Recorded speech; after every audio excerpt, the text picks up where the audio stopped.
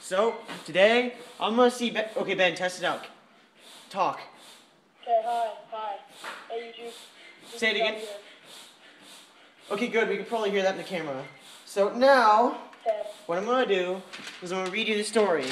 I wrote it for school. Okay, here it goes.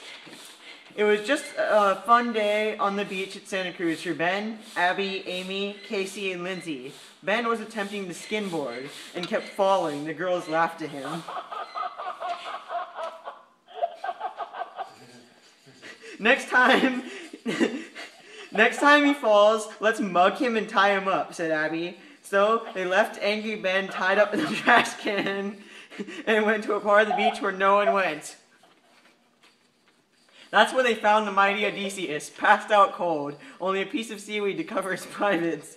OMG, he looks like Justin Bieber, said Amy. Let's take him home. Could, we, could he replace? He could replace Ben," said Abby. Does that mean I can have Ben?" said Casey. Sure thing," said Abby. So Casey took Ben home with her, and the rest of the girls washed Odysseus. Now he looks even more like Justin Bieber," said Lindsay. Then the mighty Odysseus woke and said, Where am thee? What is this land called? It's Santa Cruz, said Abby. What is Santa Cruz? said Odysseus. Is it near is it near Ithaca?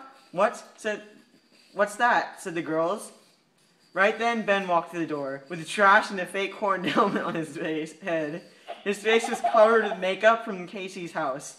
Minotaur, everyone back, said Odysseus. Oh, you silly, that's just Ben, said Abby. Then then took a shower and got rid of all the makeup and gunk. you look like a god, said Odysseus. I must bow to you, Prince of Santa Cruz. Ben just stared at the freak in front of him and turned on his Xbox. What is this dark magic, said Odysseus. It's a game called Battlefield 3, said Ben. That's funny. Okay, now we can, um, thanks for watching YouTube. Ben says hi, and now we're gonna go play some Call of Duty Ghosts. See you guys later.